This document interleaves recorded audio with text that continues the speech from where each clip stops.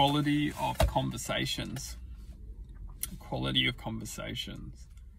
Quality of conversations. When we can feel a a thought,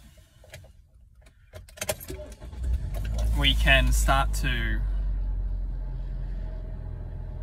understand that within every thought comes a intention. And within the intention, we can start to figure out what are we communicating? Are we wanting? Are we are we trying to what do we want? You know, are we are we wanting something from our communication? Are we wanting something from our expression or our what we're giving out? You know, are we are we wanting something back from that? When we can perceive the emotions within our our our reality, we can start to understand that everything that we are sharing through our our mouth is is being communicated within not just words but also a a an emotional and physical wavelength that doesn't just impact our minds but it also impacts our our bodies and and our whole system.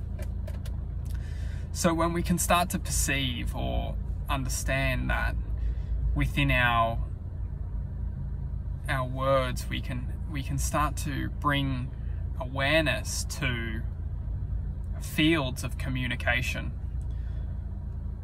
and within these fields of communication we can start to take responsibility and take action for our our power within spoken words. A lot of us, we don't take full responsibility for our words. We don't take full responsibility for our our actions. And we often look outside of ourselves or we look around ourselves for somebody to point fingers at or blame.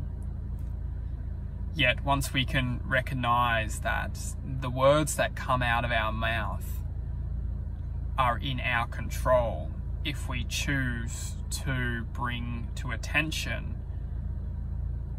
the true power of self control.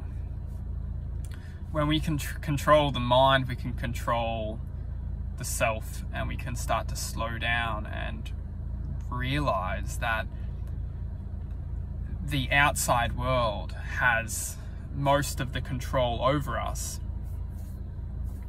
it has the control that we allow it to have control.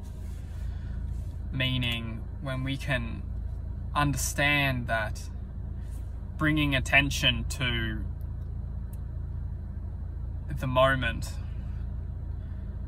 and bringing attention to controlling it doesn't work that way you can't just well i speak in a a perspective of uh, this present moment, we can't go out and and believe that we can have control without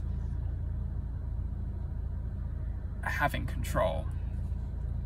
Meaning, we can't go out and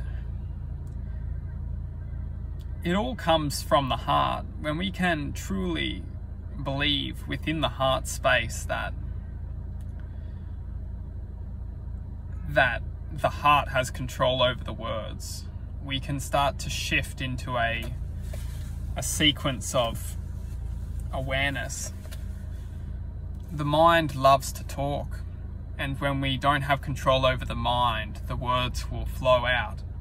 But when the heart brings when the heart generates awareness, the heart starts to understand that the mind shall not always rule.